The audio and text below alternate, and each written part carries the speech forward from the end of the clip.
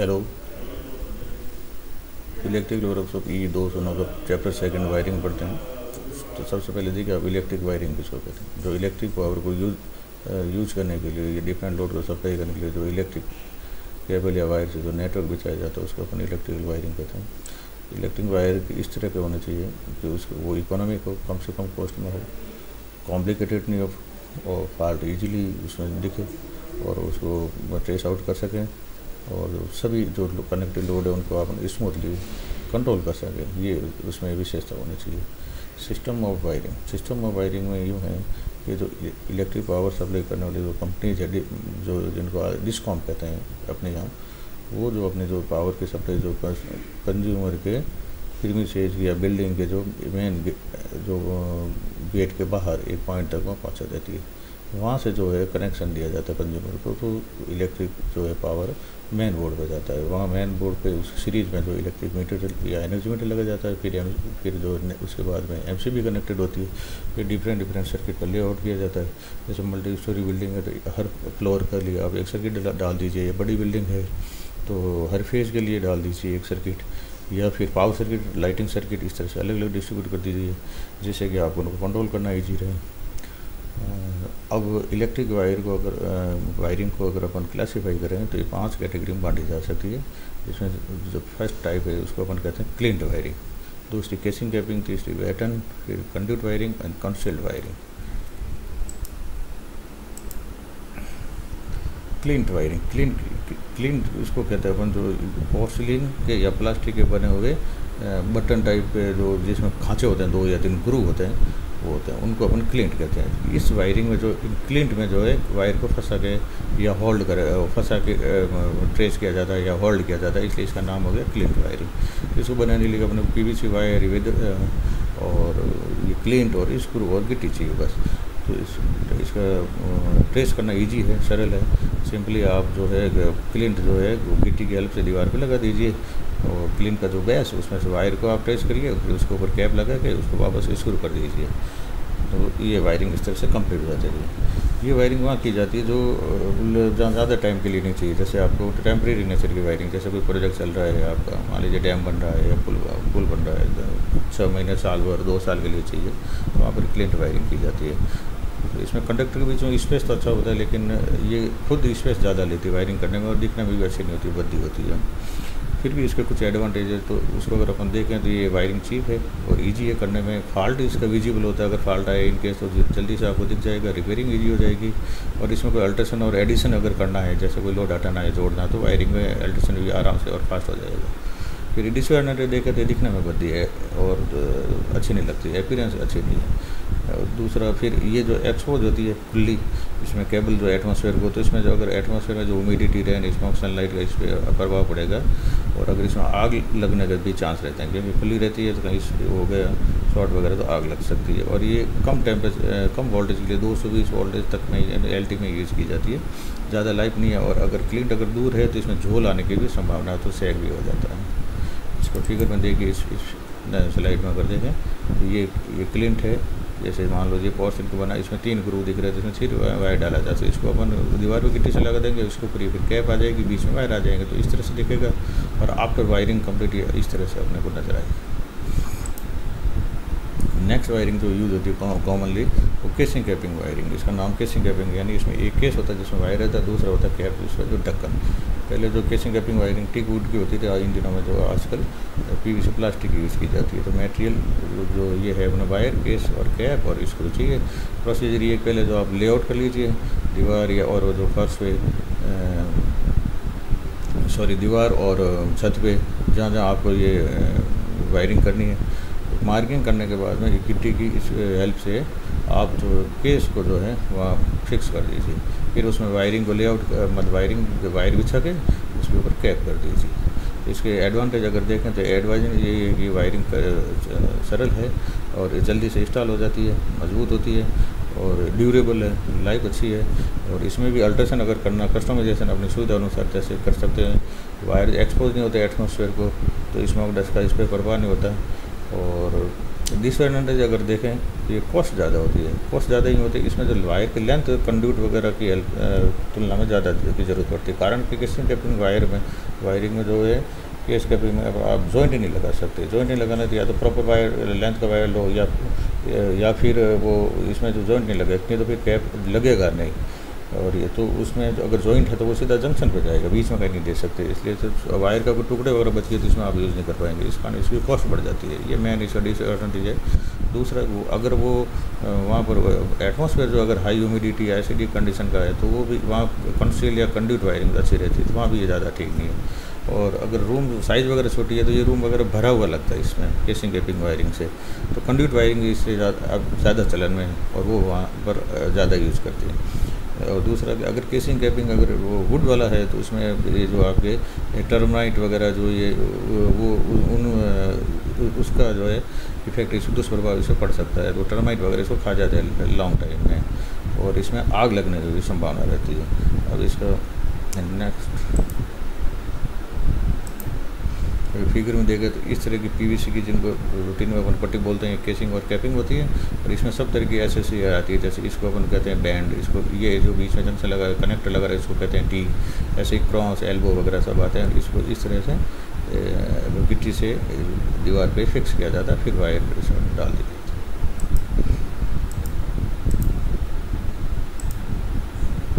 Baton wiring baton आप लोग baton कहते हैं खपची को। इसमें बैटन जो है, लकड़ी की जो पट्टी होती है ना, उसको बैटन बोलते हैं, इसको जो यूज़ करते हैं, उस पर ये वायरिंग करते हैं। ये भी एब्सोल्यूट वायरिंग इन दिनों में इनको कोई चलन नहीं है यूज़ नहीं की जाती है। तो इसमें जो अपने सागवान की लकड़ी की जो पतली पतली बैटन है, उसको यूज़ करते हैं और वो दीवार पे उनके अलग अलग बैटन की चौड़ाई आती है यूज़ की जाती है। वो डिपेंड करता है अपने वायर कितने चलेंगे बैटन पे। फिर उसको बैटन को दीवार पे गिट्टी करके स्क्रू से अपने फिक्स कर देते हैं लेआउट करने के बाद में फिर वायर बिछा के और उसमें जो ये ब्रास के जो लिंक या क्लिप होते हैं जिसको सरल भाषा में बक्कल भी बोलते हैं, उसकी हेल्प से बाँध दिया जाता है। इसके अगर देखें आप तो एडवांटेज ये है कि इंस्टॉलेशन इसका ईजी है चीप है, सस्ती पड़ती है अपीरेंस भी ठीक ठाक ही है कस्टमाइज़ भी कर सकते हैं और डिसएडवांटेज अगर देखें तो ये आउटडोर वायरिंग के लिए सूटेबल नहीं है, कारण कि इसमें जो आपकी केबल है, उसमें धूप आती है तो केबल की लाइफ कम हो जाती है, इसलिए इंडोर में इसको किया जा सकता है। दूसरा इसमें जो एटमॉस्फेयर की ह्यूमिडिटी स्टीम स्मॉग है, उसका इस पर दुष्प्रभाव पड़ेगा, और हैवी वायर के लिए सूटेबल नहीं है, और एल टी वायर ढाई वोल्टेज तक की है तो वहाँ पर आप इसको यूज़ किया जा सकती है, और इसमें फायर रिस्क भी है। ये बैटन वायरिंग ये लकड़ी की पट्टी है, इसको बैटन बोलते इसको दीवार पे इसको गैल्फ लगेगा फिर इसके ऊपर ये वायर डाल के ये क्लिप, इन क्लिप से इनको टाई कर करके बाँध ये रेडी क्लिप अपने को मिलता है। नेक्स्ट कंड्यूट वायरिंग ये बहुत पॉपुलर है और इन दिनों में यही यूज़ होता है। अगर रूम छोटा है तो ये क्या स्पेस भी कम लेती है। इसमें वायर की लेंथ भी कम यूज़ होती है। तो कंड्यूट कहते हैं पाइप को। दो तरह के कंडक्ट यूज़ होते हैं। या तो मेटेलिक कंड्यूट क्लास ए और क्लास बी के फॉर्म में डिस्ट्रीब्यूट के रहता है। क्लास ए थिन लेयर पतला कंड्यूट होता है लो गेज का। क्लास बी जो है, ठीक और मज़बूत जो है स्टील का कंडक्ट पाइप होता है। डोमेस्टिक यूज़ में जो पीवीसी कंड्यूट पाइप भी यूज़ होते हैं अलग अलग जो इन इन साइज़ में मिलते हैं अपने को। और फिर इसमें वायरिंग करते हुए एक जी वायर डाल देते हैं। ये जी वायर इसलिए डाला जाता है जब ये एक बार कंड्यूट अगर आप बिछा देंगे तो उसके बाद इस वायर की हेल्प से आप केबल को बाँध के उसमें से पार करवा सकते हैं। स्क्रू फिर इनकी कपलिंग एल्बो और वगैरह, ये जो है और उसको वायर को दीवार पे फिक्स कर सॉरी कंड्यूट को दीवार पे फिक्स करने के लिए जो व्यू क्लिप चाहिए, दो हॉल का एक, उसकी ज़रूरत पड़ती है। प्रोसीजर। इस वायर वायरिंग को करने के लिए एक्सपर्ट वायरमैन की ज़रूरत पड़ती है। ये सरफेस पे वाल सरफेस पे या सीलिंग पे की जाती है और यू क्लिप की हेल्प से इसको वहाँ पर अपन कास्टिंग कर देते हैं। एडवांटेज अगर देखें, इसका मेन एडवांटेज ये ये सबसे सेफ़ वायरिंग है। एविडेंस इसकी बहुत बढ़िया है। तो इस पर कोई वियर टीयर या खिंचाव का फ़र्क नहीं पड़ता है। एटमोसफेयर ह्यूमिडिटी स्मोक का भी कोई फ़र्क नहीं पड़ता है। लॉन्ग लास्टिंग है। डिसएडवांटेज देखें तो ये एक्सपेंसिव है, महँगी है।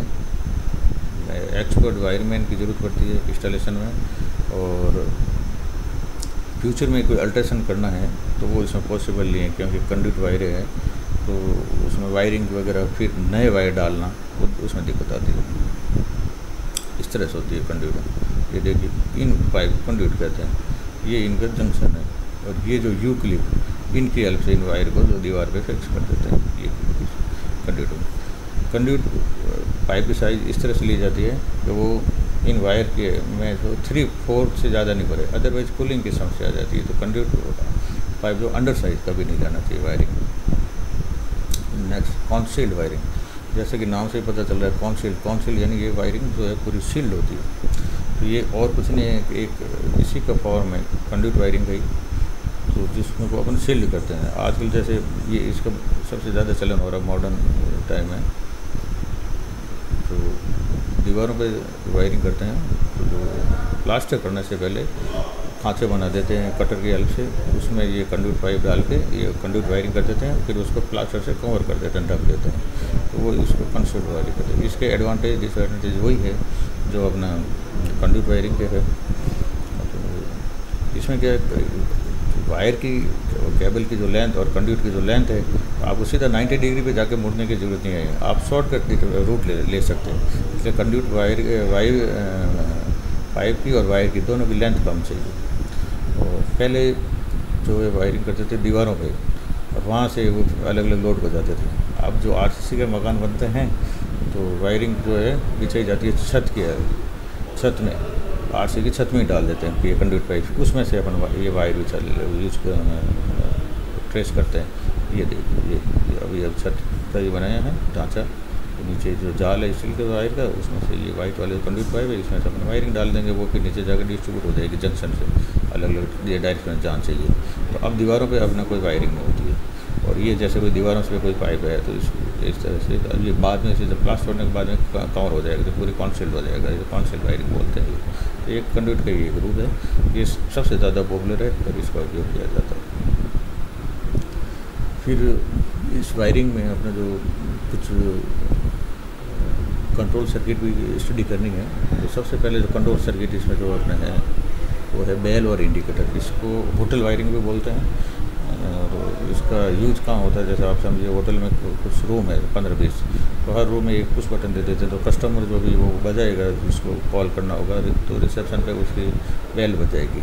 तो बेल तो एक ही होती है, और जितने रूम होते हैं, वो उसमें जो है बल्ब लगा देते हैं। तो वो अटेंडेंट जो है, वो बेल बजेगी तो उधर देखेगा बोर्ड की तरफ़ तो वो वो बल्ब नंबर दे के पता लगेगा कौन सा बल्ब ग्लो है, या उस इट मीन्स कौन से रूम से उसको कॉल है, जिससे वो उसको अटेंड कर सके। इसलिए इसको होटल वायरिंग भी बोलते हैं। इस वायरिंग को हॉस्पिटल में भी यूज़ किया जाता है जो वहाँ पर रूम की जगह पे पेशेंट बेड हो जाता है। ये इसकी जो वर्किंग है, ये इसका वायरिंग रहेगा। इसको देखिए, जैसे ये बैल लग रही है न्यूट्रल तो सीधा गया, सभी बैल को, सब ये, इसमें अभी फॉर एग्जांपल आप ये तीन रूम बताइए, मान लीजिए। तो न्यूट्रल तो सब गया, तीनों लैम्प को और बैल को, और जो फ़ेज़ है वो उसको कंट्रोल हो रहा है पुश बटन स्विच से, और ये स्विच है हर रूम में अलग अलग। इस तरह से पता लग जाता है कि भाई किस रूम से कॉल है। ये आपके रिसेप्शन एरिया पे बेल लगी रहती है और ये एक बोर्ड पर ये सब आपके बल्ब लगा देते हैं। ये बेल और indicator next fluorescent tubelight fluorescent tubelight जिसको अपन यूज़ करते हैं, इसमें एक बेटे ये फ्लोरोसेंट ट्यूब होती है लैम्प की जगह ट्यूब होती है। ये इसमें एक वैक्यूम से होता है पार्सल वैक्यूम तो कुछ मरकरी की बूंदें डाली जाती है और टंगस्टन के दो इलेक्ट्रोड होते हैं। इसमें, इसका जो वर्किंग प्रिंसिपल ये है कि इसमें जो लो प्रेशर पे या जो यूँ समझिए वैक्यूम पे जो अंदर जो गैस है, इसमें फिजिक्स में जो गैसियस डिस्चार्ज की थोड़ी वो यहाँ लगती है। तो इसको गैसियस डिस्चार्ज जब शुरू हो जाएगा, इसमें एक बार ब्रेक डाउन हो गया जाएगा इसका अंदर की एयर का तो ये अल्ट्रा वायलेट लाइट प्रोड्यूस करेगा। वो अपने को आँखों से दिखते नहीं तो इस ग्लास ट्यूब के इनर सरफेस पे फ्लोरसेंट मटेरियल की कोटिंग होती है वाइट पाउडर जैसा होता है, उससे ये टकरा के ये चमकने लग जाता है फ्लोरसेंट मटेरियल इसलिए इसका नाम है फ्लोरसेंट ट्यूब और ये ट्यूब फॉर्म में है। तो उससे अपने को विजिबल वो वाइट लाइट दिखती है। तो अब क्या है कि इस गैस से डिस्चार्ज को शुरू करने के लिए हाई वोल्टेज की ज़रूरत होती है। तो हाई वोल्टेज के जैसे यहाँ से जब सप्लाई शुरू करेंगे सप्लाई देके स्विच ऑन करेंगे आप तो यहाँ तो रेजिस्टेंस ज़्यादा है ट्यूब के अंदर तो तो यहाँ तो कोई डिस्चार्ज होगा नहीं। ये सप्लाई थ्रू चौक सीधी आ जाती है आपके स्टार्टर पे स्टार्टर पे आ गई। तो आप यूँ समझिए कि जो सप्लाई वोल्टेज है टू फिफ्टी ये सीधा स्टार्टर पे आ गया। स्टार्टर में क्या होता है? एक होता है नॉन बल्ब छोटा सा, और एक होती है बाई मेटेलिक स्ट्रिप तो थोड़ी देर बाद में ये बाई मेटेलिक स्ट्रिप यानी दो डिफरेंट मेटल की, ये गर्म होती है तो ये क्या है कि इसका कनेक्शन जो है ब्रेक हो जाता है। तो पहले जो शॉर्ट होता है, ये ब्रेक होता है। तो उसके कारण क्या वोल्टेज सर्ज डेवलप होता है। ये हाई वोल्टेज सर्ज होता है। इस वोल्टेज सर्ज के कारण इसमें ब्रेक डाउन हो जाता है। न्यून बल्ब जो है स्टार्टर में। तो उसके कारण तो यहाँ पर जो है, उस वक्त ट्यूब लाइट के जो ये जो इलेक्ट्रोड है, यहाँ पर वोल्टेज मिलेंगे supply voltage plus surge voltage के बराबर, थोड़ी देर के लिए। उस सर्ज वोल्टेज जो रेस्पॉन्सिबल है, इसको ग्लो करने के लिए, इस तरह से ये ट्यूबलाइट आपके ग्लो देती है। और ये जो दिखाया गया फिगर है, इसमें सिंगल फ्लोरेसेंट ट्यूब का ट्यूबलाइट का वायरिंग डायग्राम है। दूसरे वाले में डबल फ्लोरेसेंट ट्यूब है। इसमें देख रहे कुछ नहीं है, दोनों ट्यूबलाइट जो है पैरेलल लगाई गई है।